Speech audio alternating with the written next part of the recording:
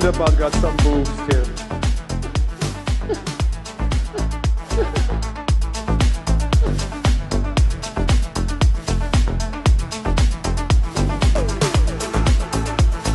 so this is essentially the same self-driving computer that runs in your Tesla cars, by the way.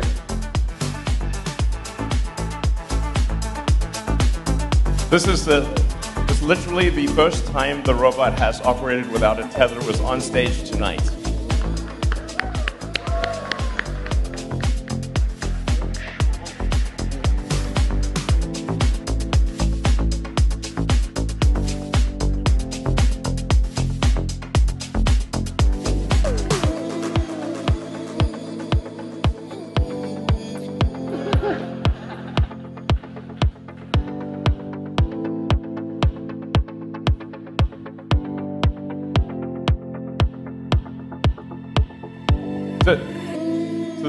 Um, so the robot can actually do a lot more than we just showed you. We just didn't want it to fall on its face. Uh, so we'll, we'll, we'll, we'll, show you some videos now of the robot doing a bunch of other things. Um, yeah, which are less risky. Um, yeah. We should close the screen, guys. Yeah.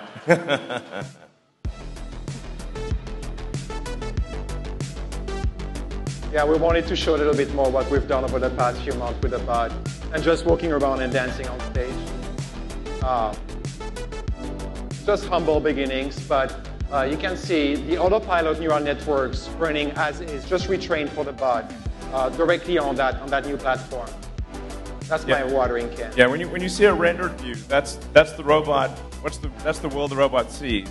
So it's, it's very clearly identifying objects like this is the object it should pick up, picking it up. Um, yeah. We use the same process as we did for Autopilot to collect data and train neural networks that we then deploy on the robot. Uh, that's an example that illustrates the upper body a little bit more. And Something that we'll like try to nail down in a few months, over the next few months, I would say, uh, to perfection.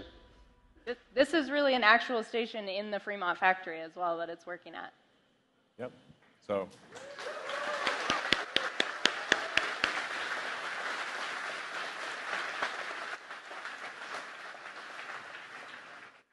And that's not the only thing we have to show today, right? Yeah, absolutely. So um, that, that, that uh, what you saw was uh, what we call Bumble C. That's our uh, uh sort of rough development robot uh, using semi off the shelf actuators.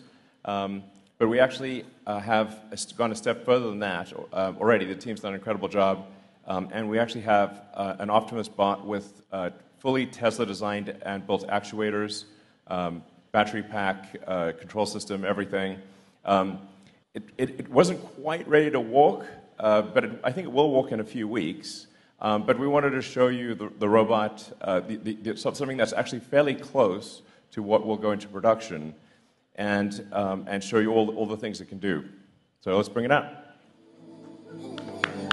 Do it.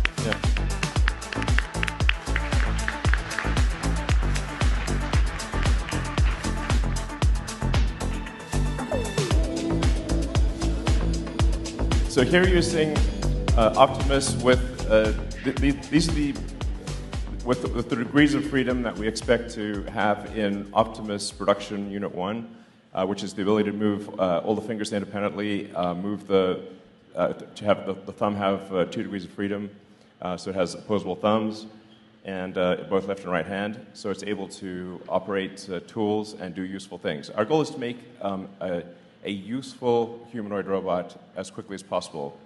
And uh, we've also designed it using the same discipline that we use in designing the car, which is to say to, to design it for manufacturing uh, such that it's possible to make the robot at, in, in high volume uh, at low cost uh, with high reliability. So that, that's incredibly important. I mean, you've all seen very impressive humanoid uh, robot demonstrations, um, and that, that's great, but what are they missing? Um, they're missing a brain. They, they, don't, they don't have the, the intelligence to navigate the world uh, by themselves. And they're, they're also very expensive um, and made in low volume.